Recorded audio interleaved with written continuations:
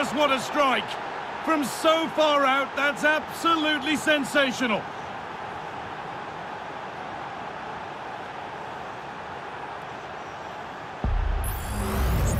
Well, I could watch this over and over again. It's a brilliant strike from a long way out.